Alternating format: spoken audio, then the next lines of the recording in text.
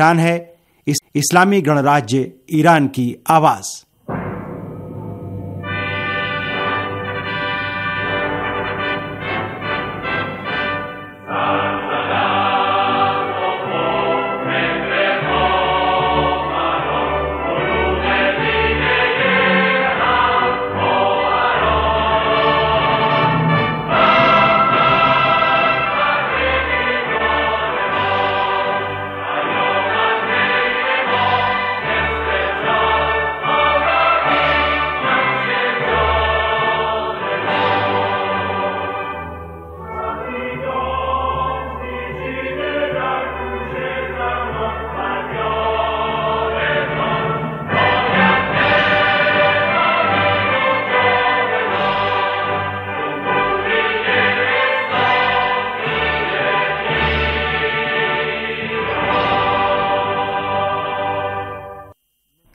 Radio Tehran के श्रोताओं की सेवा में जहरा जैदी और साथियों का सलाम पहुँचे।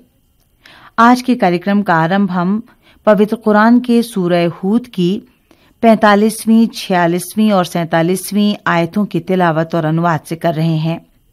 तिलावत का श्रेय प्राप्त कर रहे हैं श्री मीरजादा वाकिफी।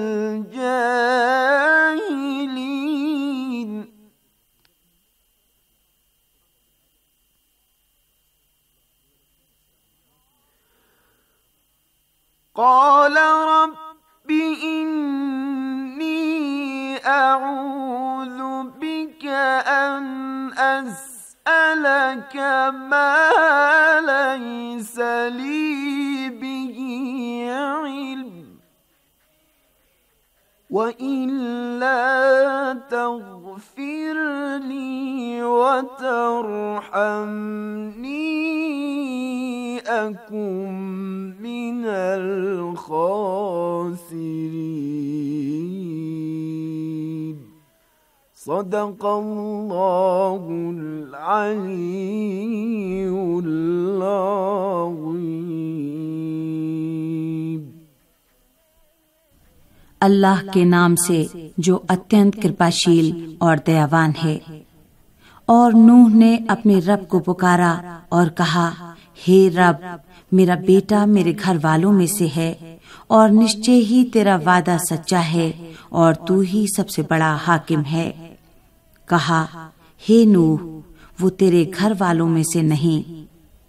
वो तो अशिष्ट कर्म है तो तू ऐसी चीज़ का मुझसे सवाल न कर, जिसका तुझे कोई ज्ञान नहीं है। मैं तुझे नसीहत करता हूँ कि तू अज्ञानी लोगों में से न हो जा। कहा, हे रब, मैं तेरी पनाह माँगता हूँ, इससे कि मैं तुझसे ऐसी चीज़ का सवाल करूँ, जिसका मुझे कोई ज्ञान नहीं। और यदि तूने मुझे क्षमा न किया और मुझ पर तूने दया न की तो मैं घाटा उठाने वालों में से हो जाऊँगा। ये रेडियो तेहरान की हिंदी सेवा है। श्रोताओं, हमारा ये प्रसारण आप शार्टवे में 31 मीटर बैंड बराबर 9390 किलो हर्ट्स पर सुन रहे हैं। आज रविवार है इस फंद की 15 शाबान की तीन और मार्च की छह तारीख। इस सभा में प्रसारित प्रसारित होने वाले कार्यक्रम इस प्रकार हैं। सबसे पहले आप सुनेंगे विश्व समाचार, उसके बाद अनमोल बातें, और उसके बाद आप सुनेंगे राजनीतिक चर्चा। उसके बाद हम एक विशेष कार्यक्रम प्रस्तुत करेंगे, और अंतिम कार्यक्रम होगा कुरान ईश्वर चमत्कार। ताज़ा और विस्तृत खबरों के लिए आप हमारी वेबसाइट देखते रहिए। वेबसाइट का पता है Pars today dot com slash H I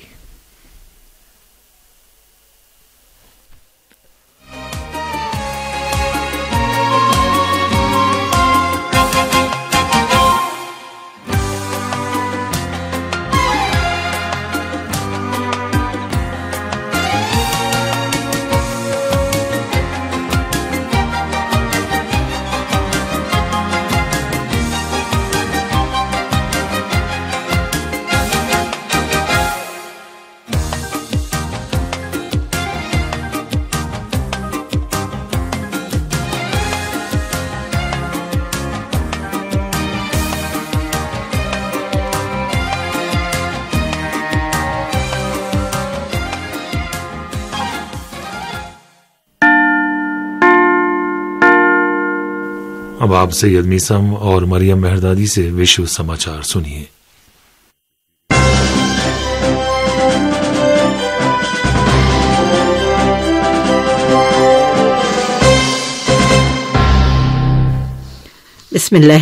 रहीम सबसे पहले आज के मुख्य समाचारों का सारांश।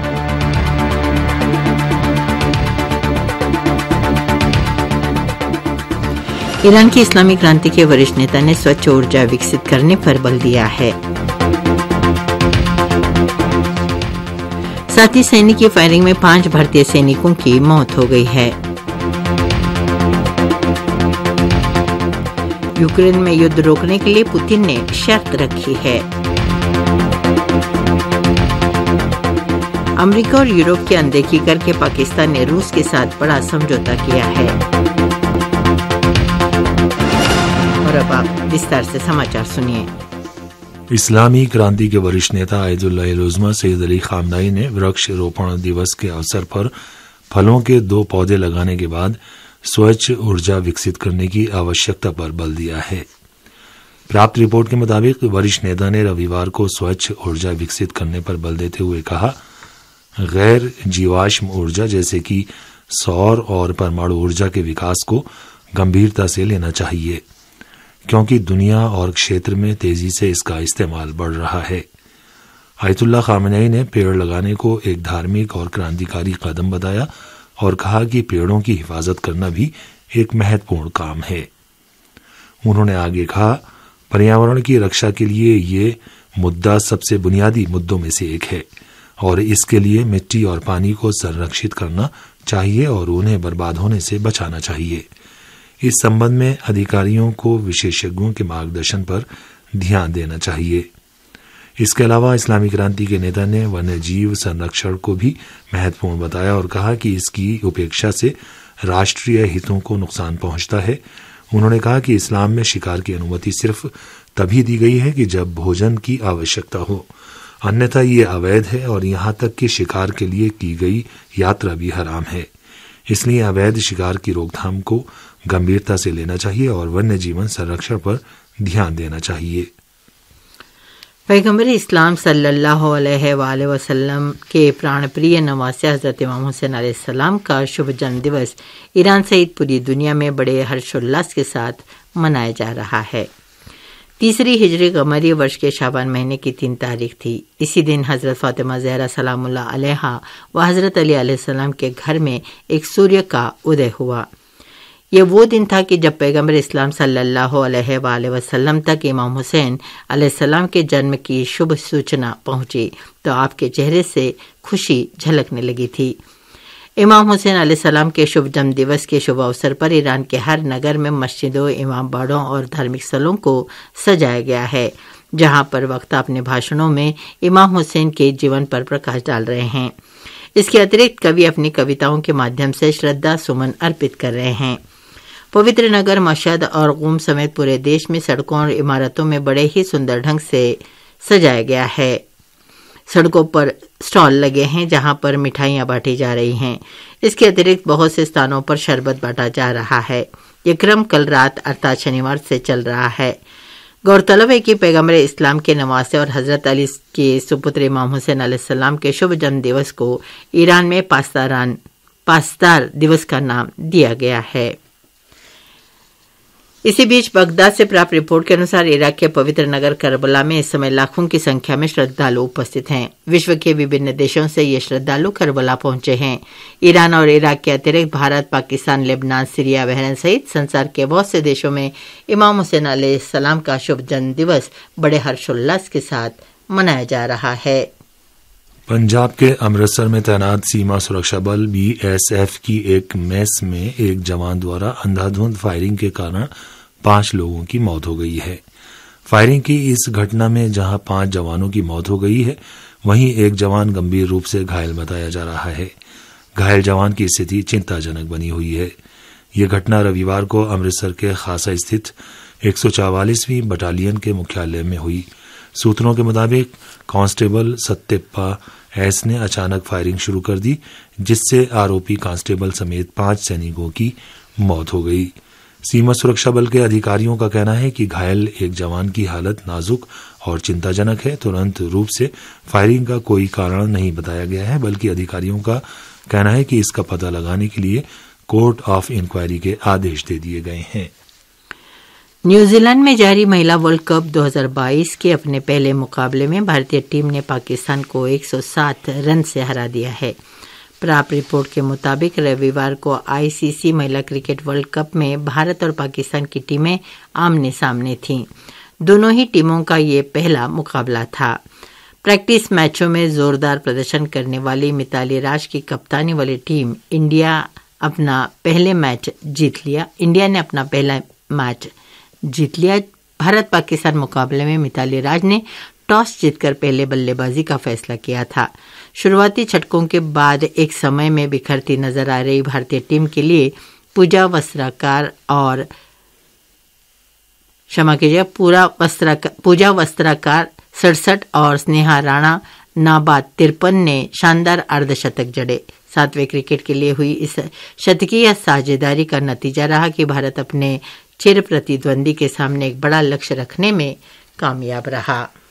रूस के राष्ट्रपति व्लादिमीर पुतिन ने रविवार को अपने तुर्क समकक्ष रजत रजब तैयब अर्दोगान से कहा है कि यूक्रेन पर रूस के हमले को रोकने के लिए किएव को लड़ाई बंद करनी होगी और मास्को की सभी शर्तों को मानना होगा।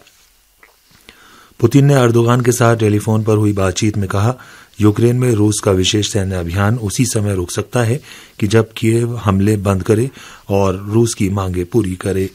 क्रेमलिन द्वारा जारी की गई प्रेस रिलीज़ के मुताबिक रूसी राष्ट्रपति पुतिन ने तुर्क राष्ट्रपति अर्दोगान को यूक्रेनी पक्ष के साथ वार्ता का आश्वासन दिया है। हालाँकि पुतिन ने चेतावनी दी है कि अगर यूक्रेन ने वार्ता को अपनी सेना को पुनः संगठित करने के लिए अवसर के तौर पर इस्तेमाल किया तो इसका बुरा अंजाम होगा। यूक्रेन ने शनिवार को एक बार फिर पश्चिमी देशों से सैन्य सहायता देने का आग्रह किया। यूक्रेन के विदेश मंत्री दिमित्रो कुलेबा ने पोलैंड यूक्रेन सीमा पर पत्रकारों के एक छोटे समूह से कहा कि हमारी सबसे ज़्यादा मांग लड़ाकू विमानों और वायु रक्षा प्रणालियों की है। अपने अमरीकी समकक्ष एंटनी ब्लिंकन के साथ मुलाकात के बाद उन्होंने कहा, अगर हम अपना फ्लाइंग जोन खो देते हैं तो इस बात में कोई संदेह नहीं है कि ज़मीन पर और खून बहेगा। प्राप्त रिपोर्ट के मुताबिक ऐसी स्थिति में कि जब यूक्रेन के राष्ट्रपति वोलोदिमिर जेलेंस्की द्वारा यूरोपीय देशों और अमेरिका से और ज़्यादा सैन्य मदद की गुहार लगाई है, तब रूसी राष्ट्रपति व्लादिमीर पुतिन ने पश्चिम देशों को चेतावनी देते हुए कहा कि कोई भी देश ऐसी नो फ्लाइंग जोन बनाने की कोशिश न करे, नहीं तो मॉस्को उस देश को भी युद्ध में शामिल समझेगा। पाकिस्तान ने रूस से प्राकृतिक गैस और गेहूँ आयात करने के एक बड़े समझौते पर हस्ताक्षर किए हैं। पाकिस्तानी और रूसी मीडिया में प्रधानमंत्री इमरान खान के हवाले से इस समझौते के बारे में रिपोर्टें प्रकाशित हुई हैं। पाकिस्तान के प्रधानमंत्री का कहना है कि पिछले हफ़्ते मॉस्को की उनकी यात्रा के दौरान रूसी राष्ट्रपति व्लादिमीर पुतिन के साथ उनकी चर्चा के बाद कई द्विपक्षीय समझौतों पर हस्ताक्षर किए गए। खान का कहना था कि पाकिस्तान निकट भविष्य में रूस से करीब 20 लाख टन गेहूँ आयात करने की योजना बना रहा है। दोनों नेताओं ने लंबे समय से लंबित पाकिस्तान स्ट्रीम गैस पाइपलाइन पर भी चर्चा की, जिसका निर्माण रूसी कंपनियों के सहयोग से किया जाना है। 24 फरवरी को यूक्रेन पर हमले के कुछ दिन बाद रूसी राष्ट्रपति व्लादिमीर पुतिन ने दावा किया था कि रूसी सेना योजना के अनुसार यूक्रेन में आगे बढ़ रही है, लेकिन यूक्रेन में रूस की सेना की धीमी गति को देखते हुए ऐसा नहीं लगता कि सब कुछ योजना के मुताबिक हो रहा है। अमेरिका और उसके सहयोगी देशों ने, जहाँ रूस पर इतिहास के अब तक के सबसे कड़े राजनीतिक और आर्थिक प्रतिबंध लगाए हैं, वहीं यूक्रेन को बड़ी मात्रा में आधुनिक हथियारों की आपूर्ति की है। यूक्रेन के रक्षा मंत्रालय ने दावा किया है कि युद्ध की शुरुआत से लेकर अब तक यूक्रेन की सेना ने रूस के अट्ठासी हवाई लड़ाकू विमान और हेलीकॉप्टर मार गिराए हैं। ऐसा लगता है कि रूसी अधिकारियों ने ऐसी उम्मीद नहीं की थी कि उनकी सेना को यूक्रेन में इस तरह के प्रतिरोध का सामना करना पड़ेगा। रूस के कई सैनिक युद्ध में मारे गए हैं, वहीं युद्ध में इस्तेमाल होने वाले उनके उपकरणों को भी नुकसान पहुँचा है। यूक्रेन पर रूस के हमले के बाद देश छोड़कर जाने वालों का आंकड़ा पंद्रह लाख के पार पहुँच गया है। संयुक्त राष्ट्र की शरणार्थी एजेंसी के उच्चायुक्त फिलिपो ग्रांडी के मुताबिक बीते दस दिनों में पंद्रह लाख से अधिक लोग सीमा पार कर पड़ोसी मुल्कों में पहुँचे हैं। और इसी के साथ रेडियो थेरान से समाचार समाप्त हुए।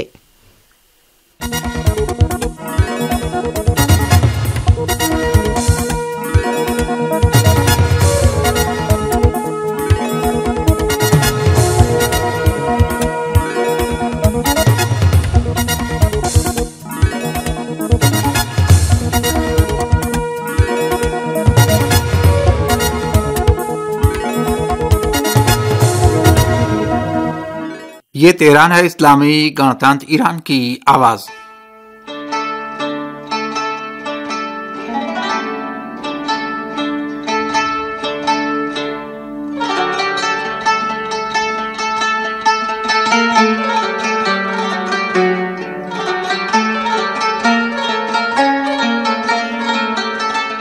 अनमोल बातें।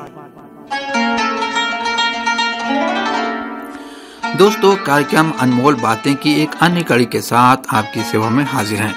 आज हम इस बात पर चर्चा करेंगे कि सुप्रीम लीडर की नज़र में राष्ट्रों का प्रतिरोध और डटे रहना क्या है। मोहम्मद मेहदी का सलाम। स्वीकार कीजिए।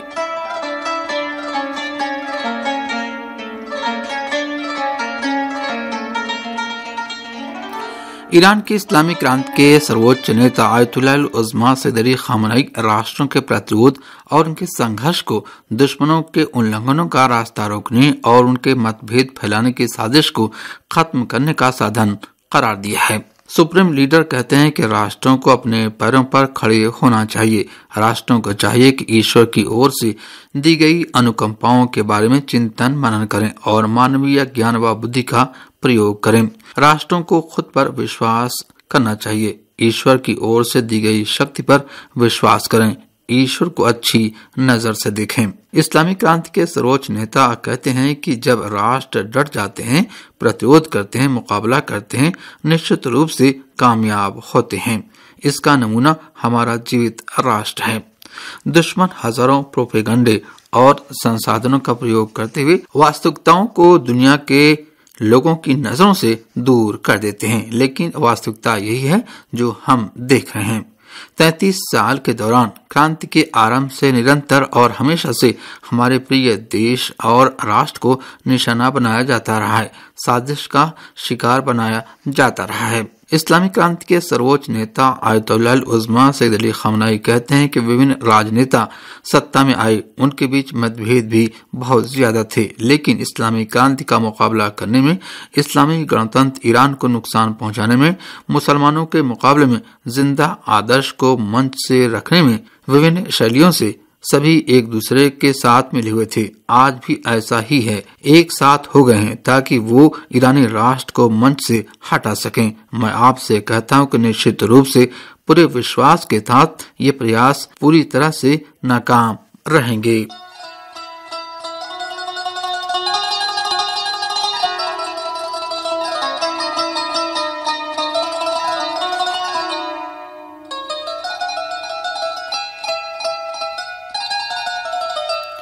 दोस्तों, ईरान के इस्लामिक क्रांति के सर्वोच्च नेता आयतुल्लाह सैद अली खामनाई ज़मीन और आसमान की बरकतों और विभूतियों की ओर इशारा करते हुए ईमान और ईश्वरीय भय को ज़मीन व आसमान की बरकतों और विभूतियों तथा ईश्वरीय कृपा के उतरने का कारण करार देते हैं। पवित्र कुरान के सुर आराफ की आयत संख्या छियानवे में आया है, और अगर गाँव वाले ईमान ले आते और ईश्वरीय भय अपना लेते तो हम उनके लिए ज़मीन और आसमान से बरकतों के दरवाजे खोल देते, लेकिन उन्होंने झुटलाया तो हमने उनको उनके कर्मों की पकड़ में ले लिया। सुप्रीम लीडर कहते हैं कि जब ईमान और तकवा होगा, तब ज़मीन और आसमान की बरकतें जारी हो जाएँगी। आसमान की बरकतें वही आध्यात्मिक जीत है, वही ईश्वरीय कृपा है, वही ईश्वरीय सामीप्य है, वही आसमान के फरिश्तों का प्राशित है। अल्लाह के बंदों के लिए ज़मीन पर ईश्वरीय सिंहासन उठाना है। ज़मीन की बरकतें, यानी हर वो चीज़ जो इंसान के जमीनी जीवन से जुड़ी हुई होती है, अर्थात स्वतंत्रता, अर्थात कल्याण, अर्थात स्वाधीनता, अर्थात सुरक्षा, अर्थात आजीविका में वृद्धि और शरीर का स्वास्थ्य।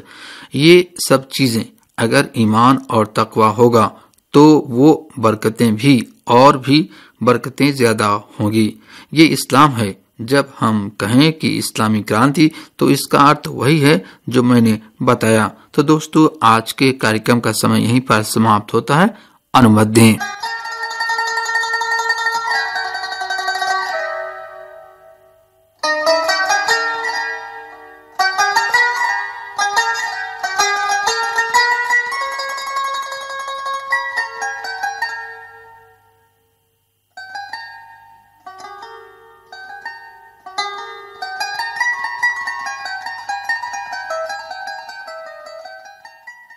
ये तेहरान है इस्लामी गणतंत्र ईरान की आवाज़।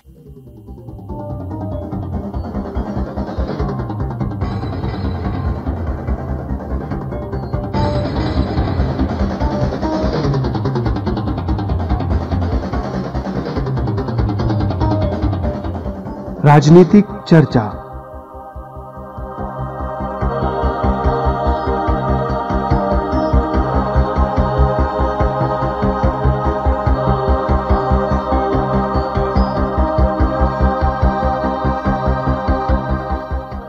दोस्तों, राजनीतिक चर्चा का दैनिक कार्यक्रम लेकर उपस्थित है कायम रिजवी का सलाम स्वीकार कीजिए। तेहरान में वार्ता से आईएईए के महानिदेशक संतुष्ट।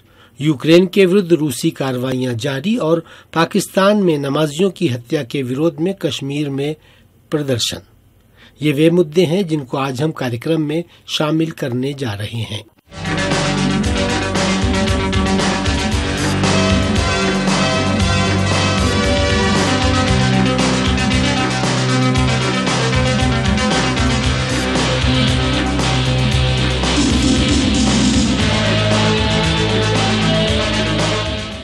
आईएईए के महानिदेशक ने ईरान में अपनी वार्ता को कामयाब बताया है। एक रिपोर्ट के साथ हाजिर हैं अख्तर अब्बास। अंतर्राष्ट्रीय परमाणु ऊर्जा एजेंसी आईएईए के महानिदेशक ने तेहरान से लौटने के बाद कहा कि ईरान के साथ वार्ता अच्छी रही। आईएईए के महानिदेशक राफेल ग्रोसी ने शनिवार को ईरान की परमाणु ऊर्जा संस्था के प्रमुख मोहम्मद इस्लामी और विदेश मंत्री हुसैन अमीर अब्दुल्लाहियान से तेहरान में मुलाकात की। ये यात्रा ऐसी हालत में अंजाम पाई है कि तेहरान पर लगे प्रतिबंधों को समाप्त करने के लिए ईरान और रूस, चीन, ब्रिटेन, फ्रांस और जर्मनी पर आधारित गुट पाँच धन एक के सदस्यों के बीच वार्ता जारी है, जिसमें सेफगार्ड और तेहरान तथा आईएईए के बीच बाकी बचे मुद्दों के समाधान के हल पर चर्चा हो रही है और दोनों ही पक्ष मुद्दे को हल करने का प्रयास कर रहे हैं।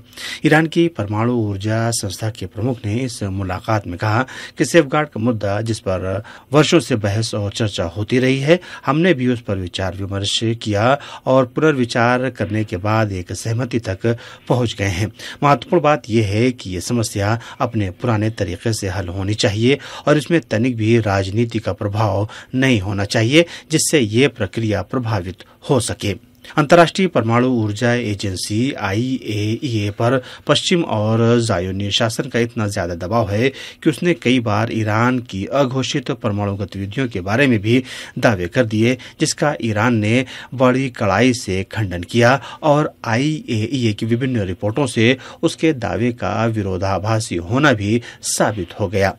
इसराइल सहित बहुत से पक्ष आईएईए की गतिविधियों में विघ्न पैदा करने और उसका राजनीतिकरण करने का प्रयास करते रहे हैं। तीन मार्च को इसराइल के प्रधानमंत्री नेफ्ताली बेनेत के कार्यालय से बयान जारी होता है, जिसमें कहा गया है कि नेफ्ताली बेनेत ने आईएईए के महानिदेशक राफेल ग्रोसी से उनके तेहरान दौरे से पहले मुलाकात की। बहरहाल, ईरान ने हमेशा से कहा है कि वो आईएईए जैसी अंतर्राष्ट्रीय संस्था के विदेशी दबाव में काम करने और उसको हथकंडे के रूप में प्रयोग किए जाने का विरोधी है।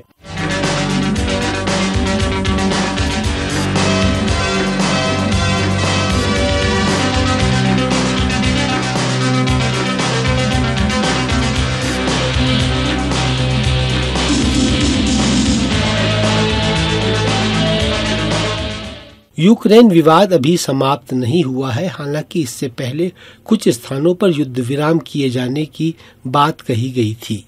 विस्तार से बता रहे हैं रविश जैदी।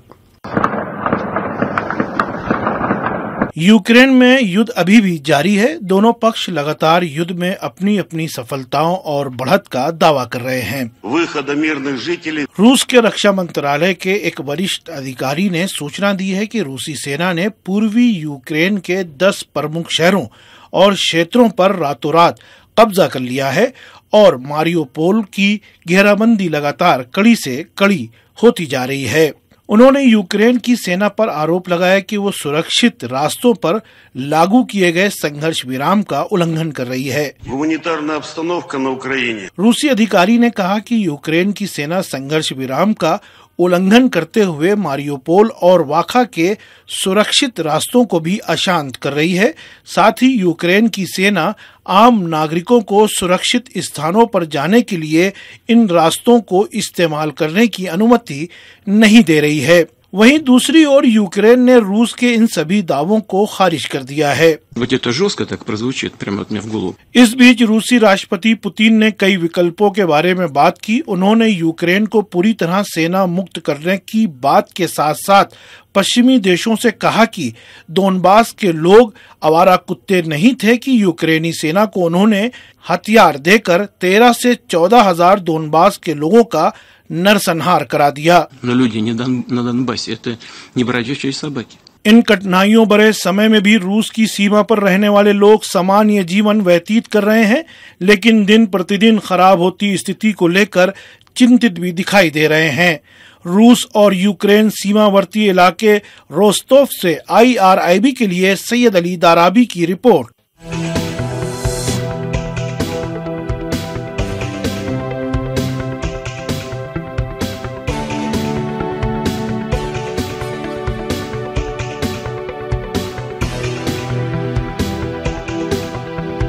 और श्रोताओं, अब रुख करते हैं हम भारत का।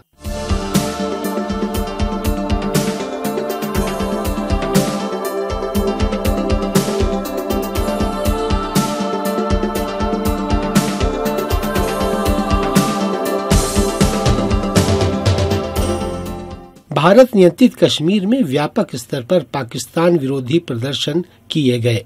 ब्यौरा लेकर हाजिर हैं श्रीनगर से सिप्ते मोहम्मद हसन। भारत प्रशासित जम्मू कश्मीर के विभिन्न क्षेत्रों में आज पाकिस्तानी शहर पेशावर में पेश आई दिलदोज घटना जिसमें आतंकवादियों ने साठ से जायद लोगों की हत्या और 200 के निकट लोगों को घायल कर दिया है के विरोध में जोरदार प्रदर्शन हुए। प्रदर्शनकारियों ने पाकिस्तानी प्रशासन से मुतालबा किया कि वो फौरी तौर पर इसमें आरोपियों को गिरफ़्तार करें और उन्हें सजा दें। सेंट्रल डिस्ट्रिक्ट बडगाम में अंजुमनी शरी शियान ने इस हवाले से एक जोरदार प्रदर्शन किया।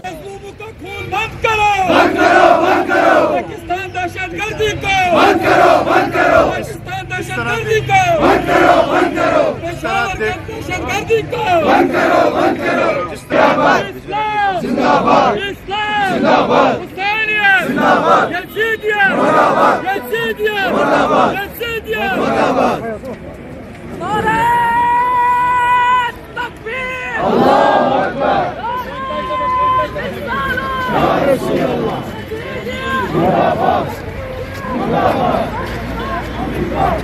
प्रदर्शनकारियों ने विभिन्न बाजारों में जाकर जोरदार प्रदर्शन दर्ज किया। इस अवसर पर उंजमैनी शरी शान के अध्यक्ष और युवा नेता आगा सईद मुश्तबा हुसैन अल मौसवी ने पत्रकारों के साथ वार्ता करते हुए कहा।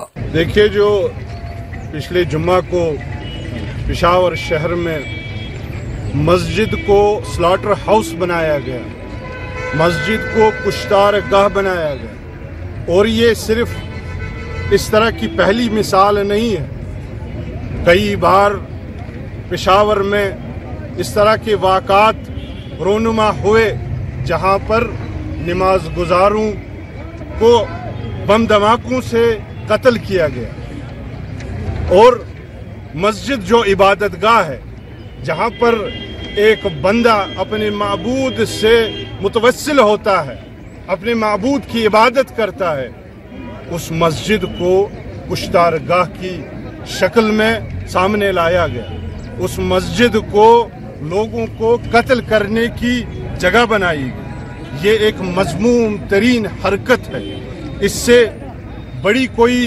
बरबरीत हो नहीं सकती कि इबादत करने की जगह पर लोगों को कत्ल किया जाए।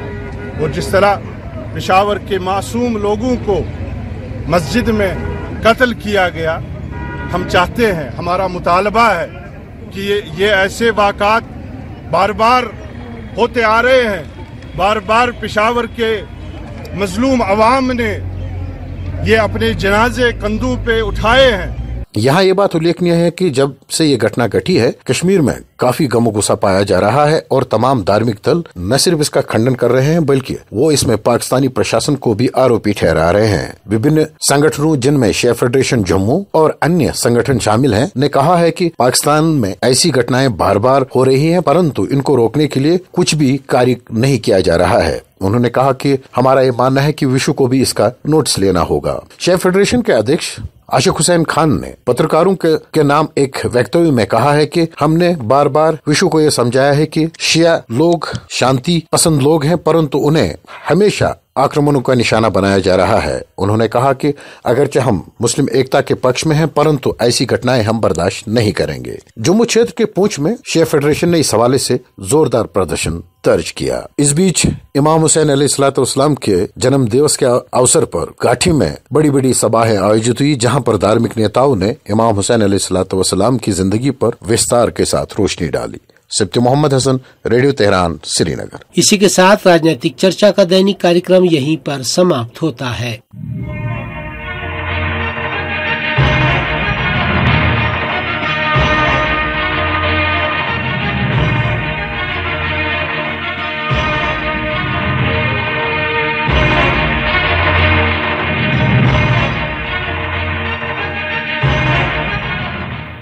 ये रेडियो तेहरान की हिंदी सेवा है। दोस्तों, आज इमाम हुसैन अलैहिस्सलाम का शुभ जन्म दिवस है, जिसके बारे में विशेष कार्यक्रम पेश किया जाएगा। पवित्र कुरान की व्याख्या पर आधारित प्रोग्राम कुरान ईश्वरी चमत्कार भी हम आपको सुनवाएँगे। तो पहले पेश है विशेष कार्यक्रम।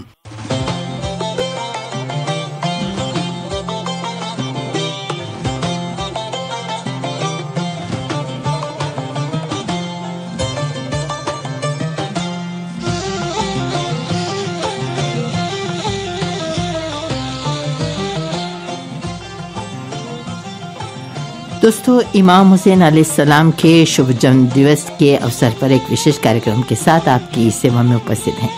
मरियम मेहर दादी और मोहम्मद मेहदी का सलाम स्वीकार कीजिए।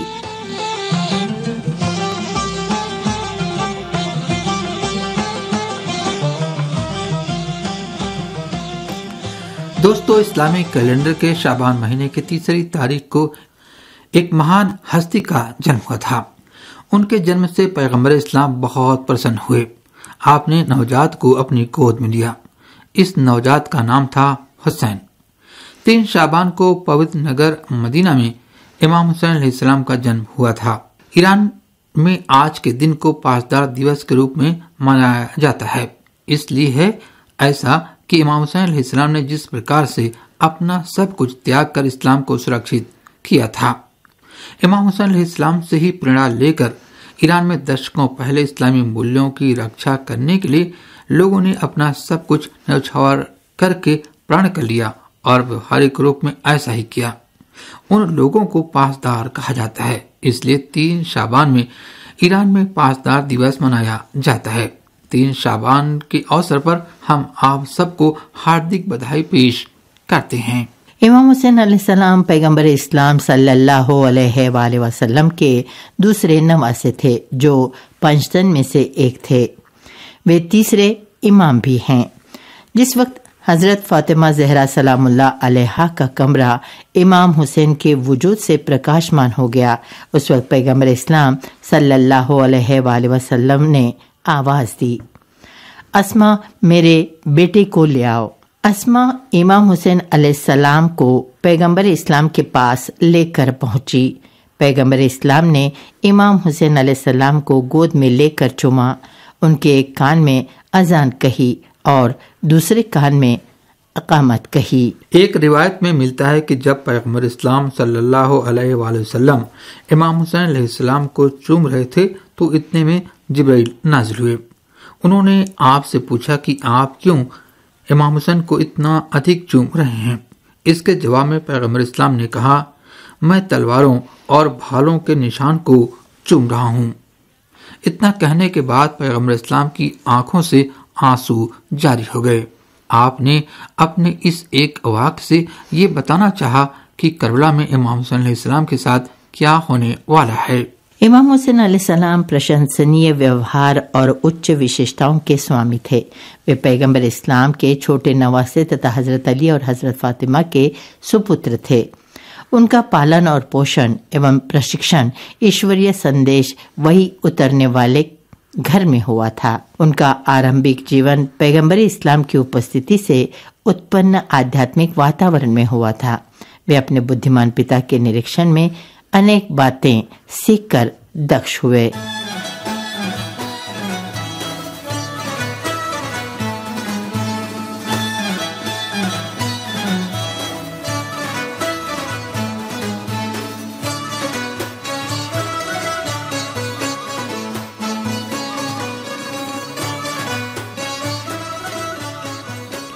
इमाम हुसैन सलाम ने अपने पिता से ये सीखा था कि मनुष्य की सुंदरता उसकी बुद्धि और विचारों में निहित है। वे स्वयं भी इस मार्ग पर चलते हुए महानता के गौरव के शिखर तक पहुँचे थे। पैगंबर इस्लाम सल्लल्लाहु अलैहि वसल्लम इमाम हुसैन सलाम को बहुत मानते थे। आपकी गोद में इमाम हुसैन सलाम को सुकून मिलता था। पैगंबर इस्लाम इमाम हुसैन सलाम को देखकर खुश हो जाते थे। इमाम हुसैन सलाम का बचपन अपने नाना के साथ बीता। पैगंबर इस्लाम बच्चों की जबान में उनसे बात करते थे। वे अपने अनुयायियों के बीच इमाम हुसैन इस्लाम के चेहरे को चूमते थे। इमाम हुसैन इस्लाम से अपने स्नेह को प्रकट करने में पैगंबर इस्लाम बिल्कुल भी संकोच नहीं करते थे। वे इमाम हुसैन इस्लाम से इतना अधिक स्नेह करते थे कि उनके अनुयायियों को देखकर हैरत होती थी। अपने अनुयायियों की हैरत पर एक बार पैगंबर इस्लाम ने कहा था कि हुसैन से मेरा छिपा हुआ स्नेह या लगाव उससे कहीं ज़्यादा है, जितना तुम प्रकट रूप में देख रहे हो। पैगंबर इस्लाम ने अपनी इस बात से सबका ध्यान इस हकीकत की ओर मोड़ा कि इमाम हुसैन सलाम से उनका लगाव आम लगाव जैसा नहीं है। ये वो लगाव नहीं है जो एक नाना को अपने नवासे से होता है, बल्कि ये ईश्वर की ओर से दी गई भावना के कारण था। ये बात तो सब समझते हैं कि पैगंबर इस्लाम आम लोगों की तरह नहीं थे। पवित्र कुरान के सूर्य नज में ये बात स्पष्ट शब्दों में बयान की गई है कि पैगंबर इस्लाम की बातचीत और उनके व्यवहार के पीछे उनकी व्यक्तिगत इच्छा नहीं होती, बल्कि उनकी हर बात और उनका हर व्यवहार ईश्वर की इच्छा के अधीन होता है। इसी प्रकार सूर्य अहजाब में भी महान ईश्वर कहता है कि उनका व्यवहार मोमिन लोगों के लिए आदर्श है। पैगंबर इस्लाम को जितना लगाव इमाम हुसैन से था, उतना उन्हें किसी से नहीं था।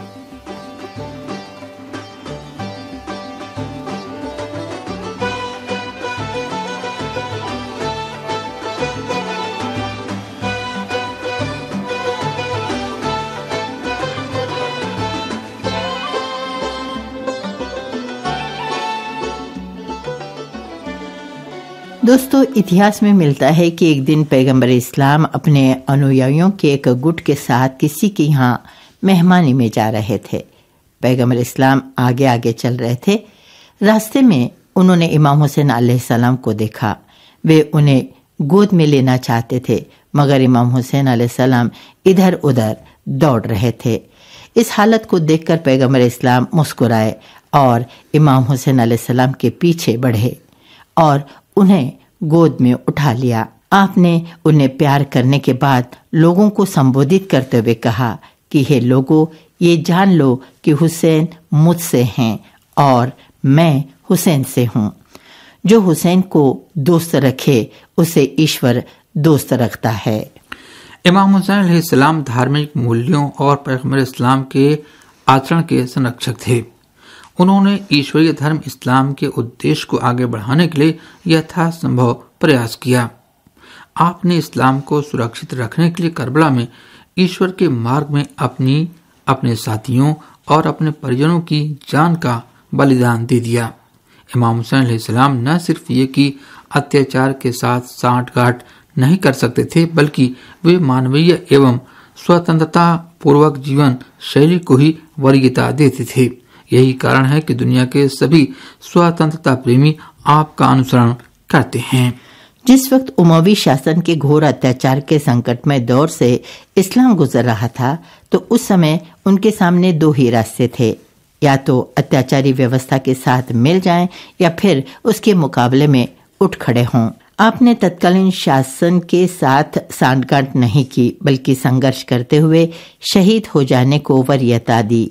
इमाम हुसैन सलाम ने अत्याचारी शासक की बात मान लेने के बारे में कहा था कि नहीं, ऐसा कभी नहीं हो सकता। हुसैन अत्याचार के आगे नहीं झुकेगा।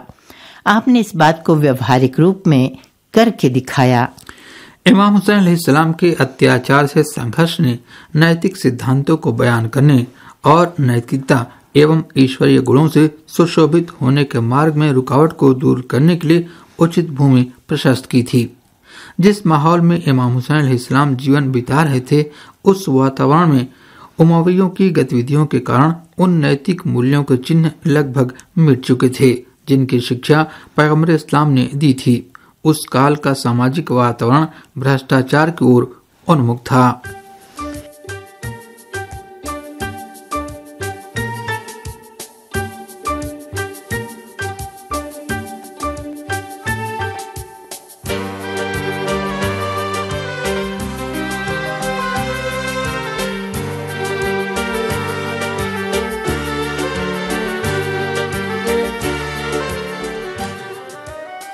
दोस्तों, उमवी शासकों के दरबारों में खुले आम अत्याचार व भ्रष्टाचार किया जाता था।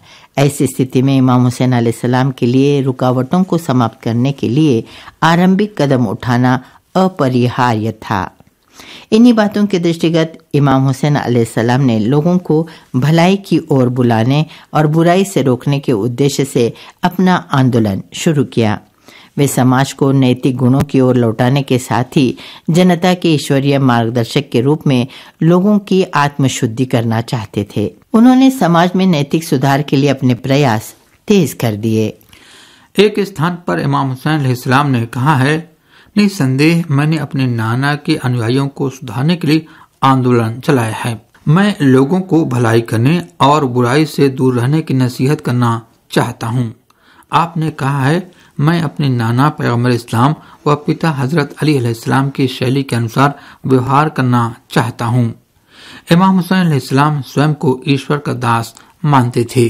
उनके जीवन के हर आयाम में ईश्वर के आदेशों पर समर्पण बहुत ही स्पष्ट रूप से दिखाई देता था। इमाम हुसैन बहुत दानी इंसान थे। सगे संबंधियों की वे हमेशा सहायता करते थे। मदद मांगने वालों को इमाम हुसैन कभी भी निराश नहीं करते थे। वे निर्वस्त्र लोगों को वस्त्र देते और भूखों को खाना खिलाते थे। आप कर्जदारों के कर्ज अदा करते थे। अनाथों के साथ वे बहुत मेहरबान थे। कमजोरों की सहायता करने में उन्हें आनंद प्राप्त होता था। अपने धन को वे वंचितों के बीच बांट दिया करते थे। हालाँकि वे बहुत अधिक उपासना करते और रोज़े रखते थे, लेकिन रणक्षेत्र में बहुत ही दृढ़ व निडर थे। लोगों के बीच उनकी वीरता के चर्चे होते थे। इमाम हुसैन सलाम बहुत मज़बूत संकल्प और उच्च मनोबल के स्वामी थे। इमाम ने अपमान को कभी भी स्वीकार नहीं किया। वे अपमानजनक जीवन पर मृत्यु को प्राथमिकता देते थे। इस बात को उन्होंने करबला में व्यवहारिक रूप में करके दिखा दिया। इमाम हुसैन के विचारों के आधार पर मनुष्य के भीतर सुंदरता का मापदंड ये होना चाहिए कि वो सांसारिक माया मोह की ओर ध्यान न दे। लोगों का ध्यान इस महत्वपूर्ण विशेषता की ओर आकृष्ट करते हुए इमाम हुसैन इस्लाम कहते हैं, वो व्यक्ति जो ईश्वर की सही पहचान रखता है, वो सांसारिक माया मोह से कभी भी दिल नहीं लगाएगा। वास्तव में ये उचित है कि इस मूल्यहीन संसार को संसार प्रेमियों के लिए छोड़ दिया जाए। इमाम हुसैन सलाम कहते हैं कि हे लोगों स्वयं को नश्वर संसार के लिए न बेचो। इस बात को जान लो कि स्वर्ग के अतिरिक्त कोई अन्य वस्तु तुम्हारा मूल्य नहीं हो सकती। तो दोस्तों, एक बार फिर इमाम हुसैन सलाम के शुभ जन्म दिवस के अवसर पर आप सबकी सेवा में बधाई प्रस्तुत करते हैं।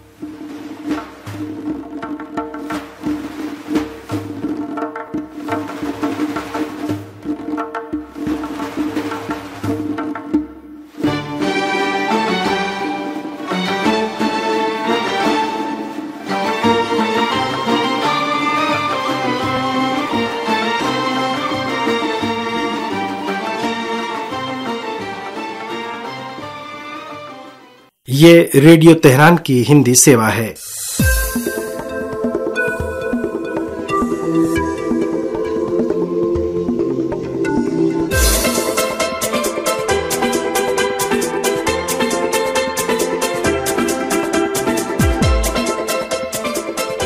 रेडियो तेहरान सच्चाई और उन सब की आवाज़ जिनकी आवाज़ कोई नहीं सुनाता। ताज़ा समाचारों और सटीक समीक्षाओं के लिए हमसे जुड़िए और हमेशा जुड़े रहिए।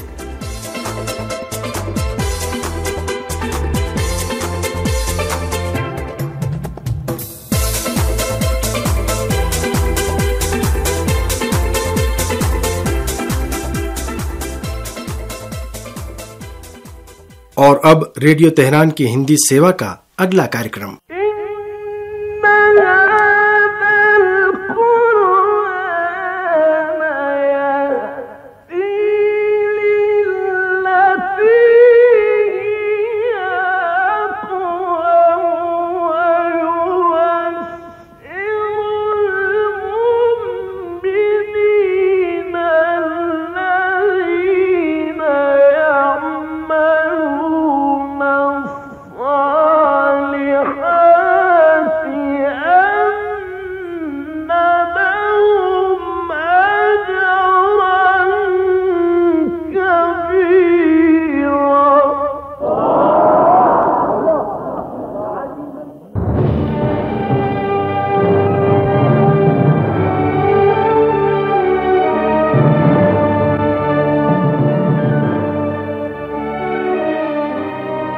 कुरान ईश्वरीय चमत्कार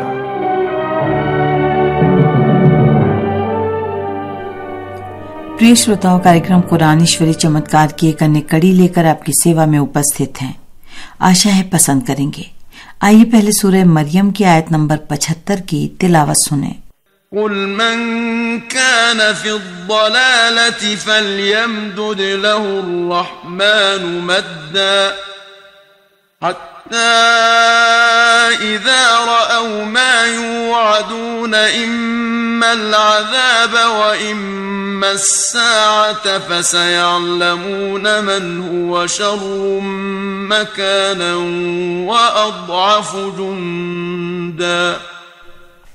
हे पैगंबर कह दीजिए कि जो कोई पथ भ्रष्टता में है उसे दयावान ईश्वर कुछ समय की मोहलत देगा, यहाँ तक कि वो दंड के वचन को अपनी आँखों से देख ले। या तो इस संसार में दंड के रूप में, या फिर प्रलय में दंड के रूप में। तो शीघ्र ही अनेकेश्वरवादियों को ज्ञात हो जाएगा कि किसका स्थान सबसे बुरा और लश्कर की दृष्टि से सबसे कमज़ोर कौन है।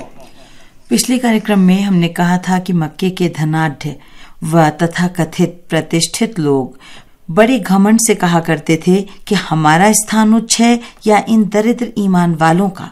ये आयत उनके उत्तर में कहती है कि ये ईश्वर की परंपरा है कि वो संसार में प्रगति व विकास की संभावनाएँ अच्छे बुरे सभी लोगों को प्रदान करता है। किंतु ईश्वर की ओर से दिए जाने वाले इस अवसर व मोहलत को तुम अपने लिए विशिष्टता मान कर इस पर घमंड न करो। और ये मत सोचो कि तुम्हें सदैव ये अनुकंपाएँ प्राप्त रहेंगी, बल्कि जो कोई कुफ्र व अत्याचार में ग्रस्त होगा, उसे लोक या परलोक में उसका दंड भोगना ही होगा।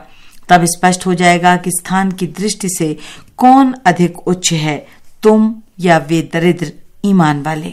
स्वाभाविक है कि ईश्वर सभी पथ भ्रष्ट लोगों को अवसर देता है कि शायद वे तौबा करके सही मार्ग पर लौट आएँ।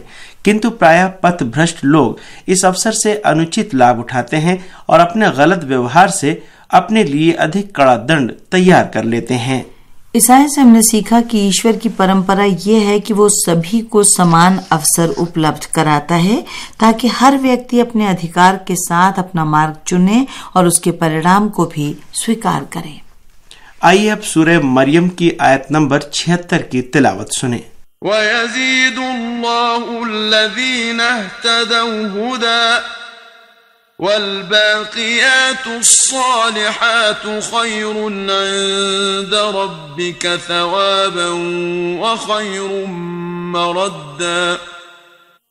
और जिन लोगों को मार्गदर्शन प्राप्त हो चुका है ईश्वर उनके मार्गदर्शन में वृद्धि करता है और बाकी रखने वाले भले कर्म तो आपके पालनहार के पास अधिक भले हैं। पुण्य की दृष्टि से भी और प्रलय के प्रति फल की दृष्टि से भी। पिछली आयत में कहा गया कि पथ भ्रष्ट लोग अपने कार्यों से अधिक पथ भ्रष्टता में ग्रस्त हो जाते हैं और परलोक में उनके दंड में वृद्धि होती है। ये आयत कहती है कि जो लोग ईश्वरीय मार्गदर्शन के पथ पर आगे बढ़ते हैं, ईश्वर उन पर कृपा करता है तथा उन्हें जीवन के मार्ग में पथ भ्रष्टता से सुरक्षित रखता है या दूसरे शब्दों में, उनके मार्गदर्शन में वृद्धि करता रहता है। एक सीढ़ी की भांति के जब मनुष्य उस पर एक कदम रखता है तो अगले कदम का मार्ग प्रशस्त हो जाता है और मनुष्य धीरे धीरे ऊपर चढ़ता जाता है।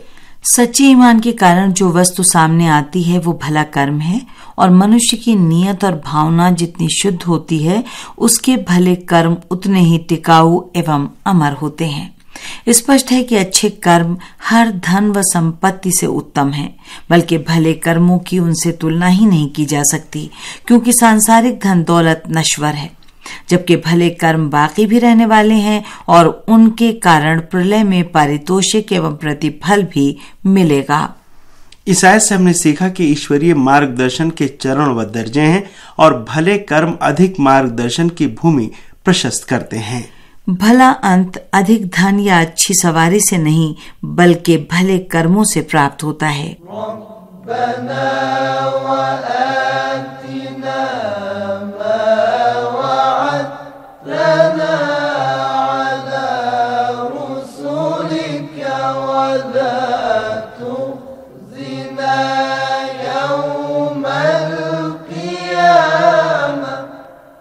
आइए अब सूर्य मरियम की आयत नंबर 77 से 80 तक की तिलावत सुने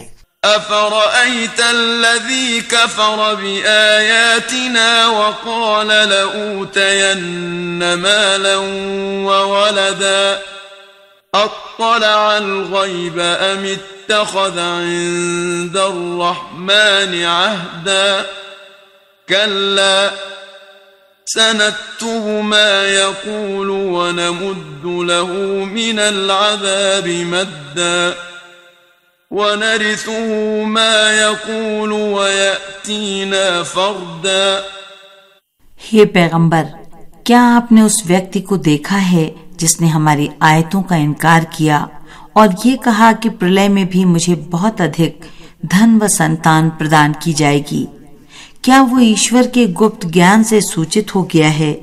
या उसने दयावान ईश्वर से कोई वचन व प्रतिज्ञा ले ली है?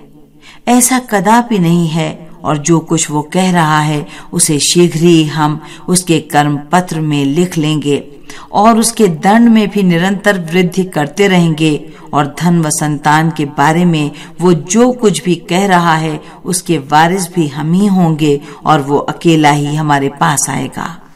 पिछली आयतों में मार्गदर्शित व पथ भ्रष्ट लोगों की तुलना की गई थी। ये आयतें काफिरों और माया मोह में ग्रस्त लोगों के विचारों व कल्पनाओं की ओर संकेत करते हुए कहती हैं कि वे इस प्रकार बात व व्यवहार करते हैं, मानो संसार के शासक हों और धन व संतान के बारे में वे जो कुछ भी चाहें, ईश्वर को उन्हें प्रदान करना ही चाहिए। वे इन्हीं बातों पर घमंड करते हैं और इन्हें ईमान वालों पर अपनी श्रेष्ठता का कारण समझते हैं। कुरान मजीद उनके उत्तर में कहता है कि बेहतर भविष्य के बारे में उनकी ये बातें और आस्थाएँ एक प्रकार की भविष्यवाणी और ईश्वर के गुप्त ज्ञान की सूचना है। उन्हें किस प्रकार इस ज्ञान की सूचना हो सकती है और क्या उन्होंने ईश्वर से इस संबंध में कोई प्रतिज्ञा ले रखी है? जबकि वास्तविकता ये है कि जो कुछ उन्हें मिलने वाला है, वो ईश्वर का कड़ा दंड है, जो उनके लोक पर लोक को अपनी चपेट में ले लेगा। इस संसार में उन्होंने जो धन संपत्ति एकत्रित की है उसे वे अपने वारिसों के लिए छोड़ जाएँगे और इस संसार से खाली हाथ ईश्वर की ओर जाएँगे। इन आयतों से हमने सीखा कि काफिरों की दृष्टि में कुफ्र प्रगति और ईमान विकास में रुकावट का कारण है जबकि वास्तव में ऐसा नहीं है और ईश्वर ने इस परंपरा का आधार नहीं रखा है। हमारे हर कथन और व्यवहार को लिखा जाता है और एक दिन हमें अपने सभी कर्मों का उत्तर देना होगा।